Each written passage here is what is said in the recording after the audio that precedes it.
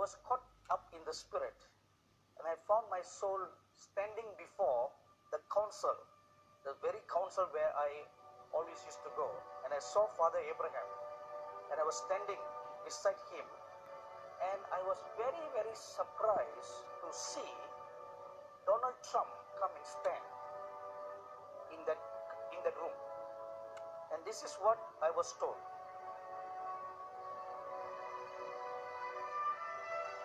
They said Trump will become president. Wait, wait, wait, wait, wait, wait, wait, wait, wait, wait, wait, wait, wait. Listen to the whole thing before you clap your hands. He will be used to clean and purify the nation.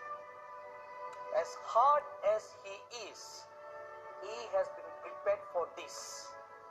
As Cyrus was used to discipline Israel and then to restore Israel, likewise, Trump will be used in the US. He will be used to curb violence. He will be God's mouth and hand for this nation. So,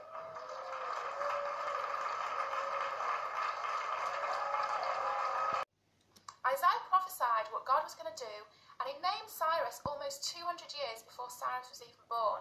He was a pagan king that was anointed by God to set God's people free from Babylonian captivity.